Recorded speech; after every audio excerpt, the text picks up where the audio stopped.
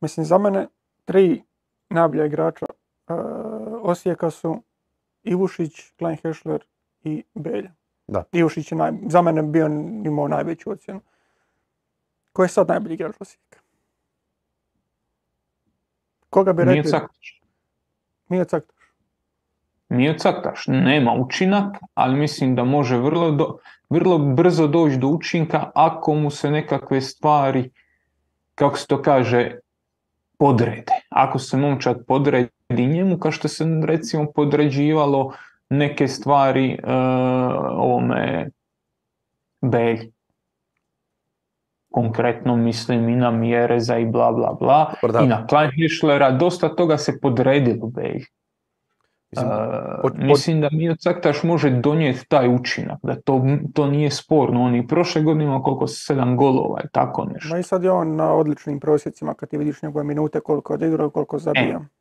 A sad, onda dolazimo do onog problema Mije Caktaša od uvijek. Mio Caktaš kad zabije gol, to je to.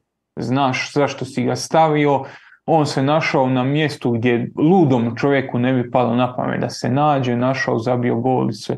Onog trenutka kad ne zabije gol, on je najnekorisniji igrač na utakmici.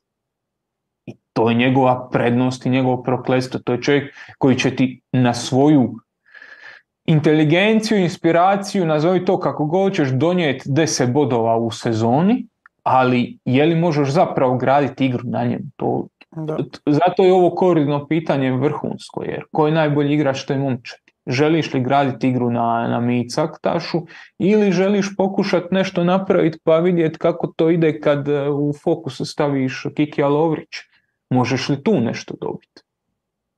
Dobro, dobra stvar iz Osijek što se, što se Mjerez, ajmo reći, probudio, zabio gol sad u ovome kolu. E, Špoljarić od kojeg e, vjerujem da se nije očekivalo, ovaj, neću reći puno, ne želi biti bezobrazan, ali opet nekako ispod cijene, ispod radara je prošao i zabio dva gola već u nastavku, nastavku prvenstva, tako da, ajde, na neki način je malo primirena ta priča oko odlaska Belja i Klein Heschlera, jer ajde dobio si dva igrača koja zabijaju na neki način.